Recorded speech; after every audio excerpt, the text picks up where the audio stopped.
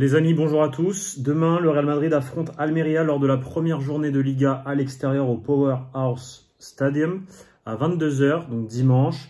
Carlo Ancelotti a parlé ce matin en conférence de presse et le groupe s'est entraîné. Je vais vous donner toutes les dernières informations sur le, sur le Real Madrid avant cette première journée de Liga.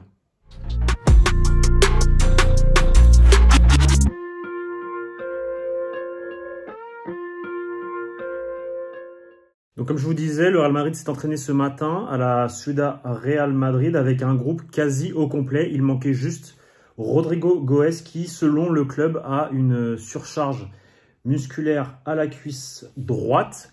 Donc le Brésilien est très très incertain ou voire quasiment euh, indisponible pour la rencontre de, demain. Donc euh, première blessure de la saison avec cette, euh, blessure de, de Rodrigo Goes. Donc absence de taille quand même pour euh, Carlo Ancelotti, même si voilà, l'effectif est de qualité avec, euh, c'est ce que Ancelotti a dit en tout cas ce matin en, conférence de presse. On lui a d'ailleurs posé la question ce matin par rapport aux, rotations parce qu'on sait que c'était quelque chose que l'an passé Carlo Ancelotti n'avait pas énormément fait en tout cas durant les ouais, 7-8 premiers mois. Il a fallu attendre euh, peut-être le quart de finale face à, face à Chelsea à Stamford Bridge pour commencer à voir des joueurs qui étaient remplaçants euh, jouer de plus en plus. Et, donc ce matin, la presse a, demandé à, Carlo Ancelotti s'il comptait justement euh, faire plus de rotation. Et sa réponse a été très claire. C'est ce qu'il avait d'ailleurs dit juste après la victoire en Supercoupe d'Europe face à l'Eintracht Francfort. Il a répondu, il y a un effectif très fort. Il faut garder tout le monde motivé et il y a une, Coupe du Monde. Donc forcément, le calendrier va provoquer que euh, Carlo Ancelotti va devoir faire un peu plus de, rotation. Il faut un effectif long et en bon état, en parlant du sien. L'idée est de tourner plus que l'an dernier, car j'ai un effectif bien plus complet. Donc voilà, la tendance est donnée par Carlo Ancelotti. Il va, faire plus de rotation cette saison. C'est quelque chose que, le Real Madrid, les supporters du Real Madrid attendent. Euh, il avait été énormément critiqué l'an passé par rapport, euh, par rapport à ça. Mais voilà, là, la tendance est que, que Carlo Ancelotti et son staff savent que cette saison va être très intense, avec énormément de matchs surtout lors de la, de la première partie de, saison, juste avant la Coupe du Monde, il va y avoir euh, quasiment un match tous les trois jours. Donc, euh, donc il faut s'attendre à des, à des, rotations et cela devrait commencer ce week-end puisque Carlo Ancelotti avait dit, euh, je vous le rappelle, juste encore une fois, juste après la victoire en, en Super Coupe d'Europe, qu'il comptait déjà faire des premiers remplacements ce week-end face à Almeria. Il a également parlé des sensations de l'équipe dans ce début de saison. Il dit que voilà l'équipe est en forme, qu'il a énormément de confiance et que voilà encore une fois l'objectif euh, de son équipe en Liga, c'est de remporter la Liga et de faire donc du coup le back-to-back. Il l'a dit en conférence de presse. Il a également parlé un peu de, quasiment tous les joueurs. Il a notamment parlé de Fede Valverde qui, euh, qui on le sait, depuis, euh, depuis 3-4 mois, 5 mois, joue ailier droit. Et il a déclaré qu'en ce moment même, son, son joueur uruguayen était une pièce importante de, son, de sa tactique, de son dispositif, qu'il s'était énormément amélioré et qu'il avait su s'adapter sur, sur l'aile. Euh, et que cela du coup aidait énormément euh, au groupe. Et c'est vrai qu'il faut voilà je, le redis euh, Fede Valverde est une pièce vraiment très importante du, Real Madrid. Bon bah ça plaît ou ça plaît pas mais, mais en tout cas c'est très efficace et, et, il fait partie de l'équilibre défensif comme offensif puisque bah forcément avec lui l'équipe défend mieux. Et aussi il faut le dire avec lui même si c'est peut-être pas beau comme d'autres joueurs bah, l'équipe euh, attaque beaucoup mieux et on se souvient de la passe, par exemple, euh, au Stade de France face à, face à Liverpool à, Vinicius Junior. C'est lui qui délivre cette, cette, passe de la, de la 14e. Donc, euh, donc voilà, donc Valverde, c'est quand même un, atout, un atout et, effectivement, il, a, il commence à trouver sa place sur cette, sur cette aile droite, à voir comment se déroulera cette saison et à voir s'il maintient ce rythme et ce, et ce niveau.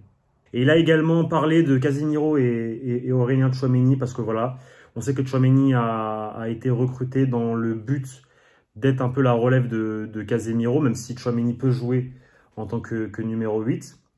Et, Carlo Ancelotti a, clairement dit que voilà, il attendait que, il a, ce qu'il attendait de Chouameni, c'était qu'il joue donc du coup à ce poste-là, au poste de numéro 6 cette saison. Mais il a quand même dit que les deux étaient compatibles, que les deux pouvaient jouer ensemble, que les deux, parce que les deux justement avaient des caractéristiques différentes. Il a dit que Casemiro avait plutôt tendance à rester positionné dans son, poste et couvrir, tandis que Chouameni avait, la tendance à se porter vers l'avant et à, attaquer. Du coup, il a, clairement dit que, que, les deux joueurs étaient compatibles d'un point de vue tactique et que on allait très certainement voir cette saison un Real Madrid avec un double pivot, donc Casemiro et Chouameni. Et il a également parlé de Antonio Rudiger, qui on sait euh, a joué cette pré-saison au poste de latéral gauche lors du, premier match face à, face à Barcelone. Puis il a été aligné euh, une autre fois euh, au poste de latéral, droit. forcément, à ce moment-là, on avait tous été surpris quand on avait vu qu'Antonio Rudiger jouait à ce poste-là et que, bah, par exemple, des joueurs comme Miguel Gutiérrez n'étaient même pas dans le groupe pour la tournée américaine.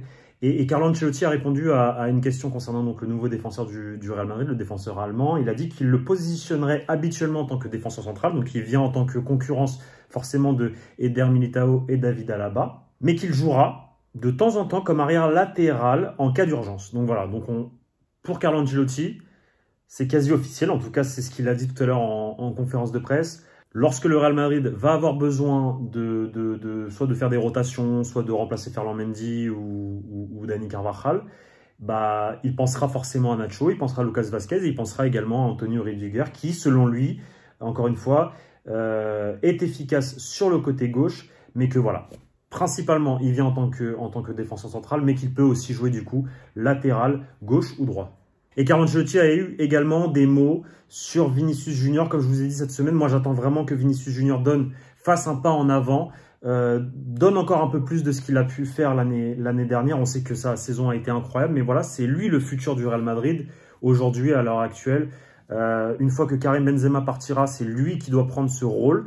Et, et, justement, forcément, on attend à ce que Vinicius Junior, dans cette saison 2022-2023, fasse ce pas en avant et se montre encore plus décisif que la saison passée. Et du coup, Carlo Ancelotti a eu des mots pour son attaquant brésilien. Il a clairement dit qu'il espérait qu'il continuerait dans la même lignée que l'année dernière, car il avait été, car il avait été très décisif. Euh, et du coup, il lui demande de continuer dans cette, euh, lignée. Donc, euh, donc voilà, des mots forts de la part de Carlo Ancelotti pour Vinicius Junior. demain, premier match de la saison pour le Real Madrid en Liga. Vinicius Junior est disponible et tout comme le reste de l'équipe, sauf Rodrigo Goes, comme je vous ai dit en, début de vidéo, qui a une petite gêne musculaire. J'espère que cette vidéo vous a plu. Je vous dis à très bientôt pour de nouvelles vidéos sur la chaîne du Journal du Real.